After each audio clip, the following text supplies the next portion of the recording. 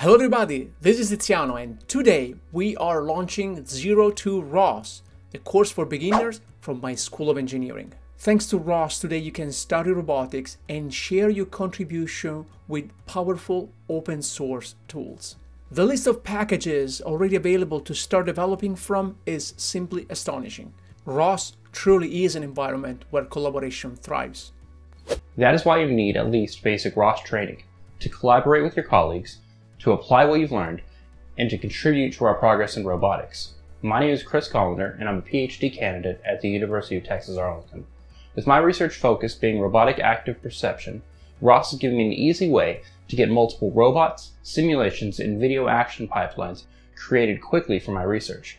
A few years ago, I decided to get a go at ROS. The learning curve was very steep, and that is why I decided to create a ROS series on my YouTube channel to help people getting through the first learning steps with a very fun example to work with. We're excited to bring you this new course, Zero to ROS, a course thought for beginners, the first of the series School of ROS. We will explore how ROS works at its core through nodes, topics, messages, parameters, and other features.